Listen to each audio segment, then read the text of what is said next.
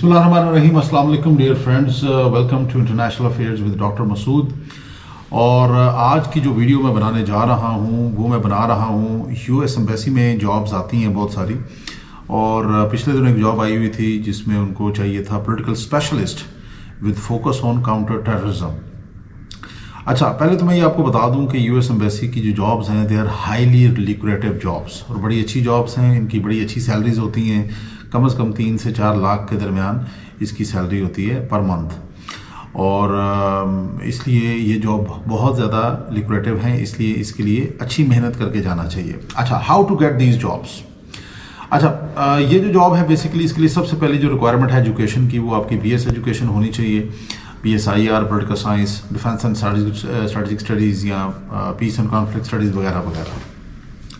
तो इसके बाद जो नेक्स्ट स्टेप है, वो है आपका नॉलेज अबाउट पाकिस्तान क्योंकि पोलिटिकल स्पेशलिस्ट उनको जो चाहिए, उसमें उसके पास पाकिस्तान का नॉलेज होना बहुत ज़रूरी है। पाकिस्तान की geography in and out Pakistan का relationship with other countries India है अफ़गानिस्तान है ईरान है यूएस है रशिया है चाइना है। या फिर और इस तरह की जितनी भी हमारी इंपॉर्टेंट चीज़ें हैं पाकिस्तान की जोग्राफी से रिलेटेड या पाकिस्तान के रिलेशनशिप से रिलेटेड पाकिस्तान की इकॉनमी से रिलेटेड वो सारी आपको पता होनी चाहिए। So this is one of the most important thing जो कि आपको आइडिया होना चाहिए being a political specialist for embassy अच्छा दूसरी चीज़ जो इसके अंदर है uh, अब उनका जो फोकस है वो है काउंटर टेररिज्म के ऊपर। अच्छा इसके अंदर बड़ी सिंपल सी मैं आपको चीज़ बता दूँ। कि यूनाइटेड स्टेट्स ऑफ़ अमेरिका का जो फोकस है दुनिया के अंदर इस वक्त काउंटर टेररिज्म पे, वो आपको नज़र आता है ज़्यादातर शुरू होता है नाइन अलेवन के बाद। और नाइन अलेवन के बाद अमेरिका फोकस करता है अफ़गानिस्तान के ऊपर और तकरीबन बीस एक साल वहाँ पर गुजारता है और अल्टीमेटली यहाँ से निकल जाता है। और दूसरा फोकस जो अमेरिका का है काउंटर टेररिज्म का, वो है अफगानि अफ्रीका के ऊपर। अच्छा अफ्रीका के अंदर जो है अमेरिका की बहुत बड़े लेवल पे अफ़गानिस्तान के बाद इंगेजमेंट चल रही है टेररिज्म के हवाले से। इसलिए जो भी बंदा इसके लिए अप्लाई करना चाहता है काउंटर टेररिज्म के लिए स्पेशलिस्ट के लिए पोलिटिकल स्पेशलिस्ट के लिए ही और she should know about all these things पहले कि 9/11 कैसे हुआ, क्यों हुआ, किस, कौन इन्वॉल्व था इसके अंदर, अभी क्या सिचुएशन चल रही है, और अभी करंट उसकी लीडरशिप क्या है। अच्छा अभी उसामा बिन लादन के मरने के बाद और उसके बाद फिर एमन अल जवाहरी के मरने के बाद, जो करंट अलकायदा का लीडर है उसका नाम है सैफुल अदल। अच्छा अब आप सोचें कि क्या आपको ये पहले चीज़ पता थी? अगर तो पता थी तो बहुत अच्छी बात है। तो आपका नॉलेज लेवल बेहतर है तो आपको और ज़्यादा बेहतर करने की ज़रूरत है। और अगर आपको नहीं पता थी तो समझ जाएँ कि आपको बेसिक से शुरू करना पड़ेगा स्क्रैच से शुरू करना पड़ेगा। इसलिए आपको इन एंड आउट पता हो कि ये जो टेररिस्ट ऑर्गेनाइजेशन हैं और इनकी क्या क्या खसूसियात हैं, कौन इनकी लीडरशिप है, क्या इनके सोर्स ऑफ़ फंडिंग हैं, कहाँ ये ऑपरेट करते हैं एरिया ऑफ़ ऑपरेशन इनका क्या क्या है। अच्छा चलो, अब फोकस करते हैं कि काउंटर टेररिज्म इन पाकिस्तान के अंदर जो अमेरिका की एम्बेसी है, उसके अंदर जो उनको बंदा चाहिए, उसको किस चीज़, किस चीज़ का इल्म होना चाहिए? तो सबसे पहले अफ़गानिस्तान, पाकिस्तान, यहाँ पे जितनी भी टेररिस्ट ऑर्गेनाइजेशंस हैं मेन स्ट्रीम ट्रांसनेशनल जो टेररिस्ट ग्रुप हैं, उनकी इंफॉर्मेशन बहुत ज़्यादा ज़रूरी है। फॉर एग्जांपल यहाँ पे जो मेन स्ट्रीम टेररिस्ट ग्रुप्स हैं, हमारे रीजन के अंदर जिसको हम अफ़गानिस्तान, पाकिस्तान रीजन कहते हैं al Qaeda transnational terrorist group है। टीटीपी एक बहुत बड़ा ग्रुप है, टेररिस्ट ग्रुप है जो पाकिस्तान पे भी अटैक करता है। और इसके अलावा इस्लामिक मूवमेंट ऑफ़ उज्बेकिस्तान है ईटीआईएम है, ठीक है। आईएसकेपी है, ये वो टेररिस्ट ग्रुप्स हैं मेन स्ट्रीम जो ऑपरेट करते हैं इस रीजन के अंदर। इसके अलावा कुछ ऐसे ग्रुप्स हैं जो भी अमेरिका के इंटरेस्ट में हैं, जैसे लश्कर तैयबा है, जैश मोहम्मद है। तो इस जॉब के हवाले से अगर देखा जाए तो अमेरिका का जो फोकस है, अफ़गानिस्तान से निकलने के बाद भी अमेरिका अफ़गानिस्तान से नहीं निकला। अमेरिका के जाने के बाद अमेरिका ने एम एल जवाहरी को अफ़गानिस्तान में कत्ल किया। उसको ड्रोन स्ट्राइक में मारा। जिससे नज़र आता है कि अमेरिका की जो ह्यूमन इंटेलिजेंस है, वो अभी भी ऑपरेट कर रही है इस रीजन के अंदर और वो आगे भी करती रहेगी क्योंकि अमेरिका दोबारा नाइन अलेवन रिपीट नहीं करवाना चाहता। तो इसलिए ये जो एरियाज़ हैं, इनका आपको इल्म होना बहुत ज़रूरी है। अलकायदा का और जो बाकी टेररिस्ट ऑर्गेनाइजेशन के नाम मैंने बताए हैं, इनके ऊपर आपने डिटेल में पढ़ना है, इसके ऊपर सारा डाटा मौजूद है और हर चीज़ इसके अंदर मौजूद है। इसके ऊपर बहुत सारी मैंने वीडियोज़ पहले भी बनाई हुई हैं तो आप उसको ले सकते हैं। अच्छा दूसरी चीज़ नॉलेज आपने जब अपना ओके कर लिया तो दूसरी चीज़ है आपकी कम्युनिकेशन स्किल अब कम्युनिकेशन स्किल अमेरिकन एम्बेसी में उनको इंग्लिश चाहिए मेनली और अगर आपको पश्तो पंजाबी या नेटिव लैंग्वेजेस और भी आती हैं तो दैट इज़ ऑल्सो प्लस क्योंकि जब आप अप्लाई करें तो आप ज़रूर बताएँ कि आपको मल्टीपल लैंग्वेजेस और भी आती हैं, क्योंकि उनको इंटरप्रेटर्स चाहिए होते हैं स्पेशली पश्तो और जो अफ़गानिस्तान के अंदर ज़बानें बोली जाती हैं, जैसे दरी है, और इसके अलावा पर्शियन वगैरह, उनके, उनको इंटरप्रेटर्स चाहिए होते हैं।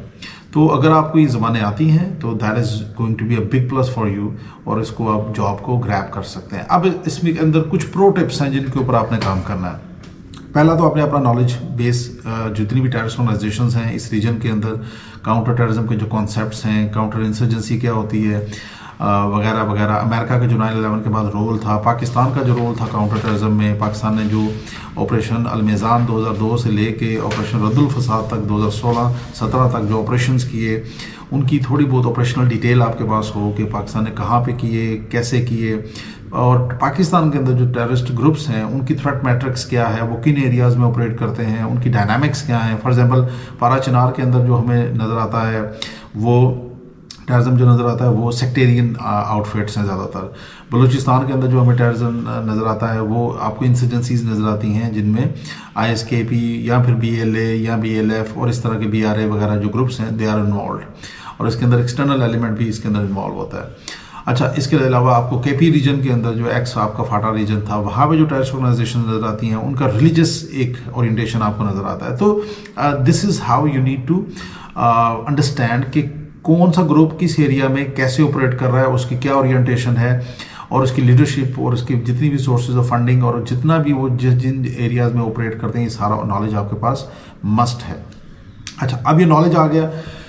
अब अगला स्टेप ये है कि how to communicate that knowledge to the interviewers आपने किस तरीके से अपना ये जो नॉलेज है, इसको अच्छे तरीके से जो आपसे इंटरव्यू ले रहा है बंदा, उसको बताना है। तो उसके लिए सिंपल तरीका ये है कि यू हैव टू प्रैक्टिस आपने अपनी कम्युनिकेशन स्किल की प्रैक्टिस करनी है। आपने अपने जितना भी हो सके शीशे के सामने खड़े होकर या अपने दोस्त किसी के सामने बैठ के आप ज़्यादा से ज़्यादा इंग्लिश में बात करें, ज़्यादा से ज़्यादा इंग्लिश बोलें या पढ़ें उसको लाउडली ताकि ये जो वर्ड्स हैं, ये इंग्लिश के वोकेबलरी ये आप अब्जॉर्व कर सकें।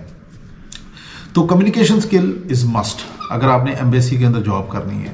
क्योंकि वहाँ पे you have to speak in English you have to communicate in English तो आपकी इंग्लिश उर्दू या अदर नेटिव लैंग्वेजेस जो हैं, वो बहुत स्ट्रॉन्ग होनी चाहिए। और जब तक वो स्ट्रॉन्ग नहीं होंगी, आपको ये जॉब नहीं मिल सकती। तो ये बहुत सिंपल सी टेक्निक है, अगर आप इस पर अमल करें तो आप इसको इम्प्रूव कर सकते हैं, जो मैंने अभी आपको बताया। तो इसके अंदर आपकी कम्युनिकेशन स्किल शीशे के सामने खड़े होकर या जिस तरह भी हो सके दोस्त के सामने बैठ के आप उसको इम्प्रूव कर सकते हैं, आप इस पर काम कर सकते हैं, ठीक है? तो ये दो चीज़ें आ गई बड़ी इंपॉर्टेंट पहली नॉलेज दूसरा, आपकी कम्युनिकेशन स्किल तो इस जॉब के लिए ये जो जॉब है अमेरिकन एम्बेसी के अंदर पोलिटिकल स्पेशलिस्ट की जॉब काउंटर की आपने इसके ऊपर काम करना है। बहुत सिंपल सी है और बहुत आसान जॉब है। इतनी मुश्किल नहीं है। वंस यू नो थिंग्स तो आपके लिए फिर एनालाइज करना आसान हो जाता है। तो आपने सिर्फ़ ये काम करना है कि आपने अफ़गानिस्तान, पाकिस्तान के अंदर जितने भी टेररिस्ट आउटफिट हैं या साउथ एशिया के अंदर इवन जितने टेररिस्ट आउटफिट हैं उनको, उनके ऊपर भी आपने थोड़ी सी अपनी अंडरस्टैंडिंग क्रिएट करनी है ताकि आपका जो फोकस होगा इस जॉब के हवाले से, जो जॉब प्रायरिटी होगी, वो यही होगी कि आप अमेरिकन एम्बेसी को एडवाइस करेंगे अबाउट द टेररिज्म या टेररिस्ट ऑपरेशन या टेररिज्म जो काउंटर टेररिज्म एफर्ट्स हो रही हैं इस रीजन के अंदर, उसके ऊपर। तो उसके लिए आपको ये सारी चीज़ें अच्छी आनी चाहिए। अगर आपकी अंडरस्टैंडिंग अच्छी होगी only then you can get grab this job thank you very much इनशाला मैं इसके अलावा और भी स्पेसिफिकली जॉब्स के ऊपर बनाता रहूँगा स्पेशली जो अमेरिकन एम्बेसी या यूएस एम्बेसी जितनी भी एम्बेसीज हैं और कैनेडियन एम्बेसी है या ऑस्ट्रेलियन एम्बेसी है, यहाँ पे जितनी भी जॉब्स आती हैं इन ताला आई विल नो और आप इस पर काम करते रहें। और हमारा टारगेट है कि हम B S I R political science D S S या जितने भी सोशल साइंस के हमारे सब्जेक्ट्स हैं, कोई बंदा बेरोज़गार ना रहे। So stay in touch with me subscribe this channel और ये वीडियो को शेयर करें अपने दोस्तों के साथ, जो न्यूली ग्रेजुएट्स हैं उनके साथ, ताकि ज़्यादा से ज़्यादा आप इस चीज़ से फ़ायदा उठा सकें और बाकी लोग भी फ़ायदा उठा सकें। तो अपना बहुत सारा ख्याल रखिएगा। इंटरनेशनल अफेयर्स के साथ डॉक्टर मसूद खटक। अल्लाह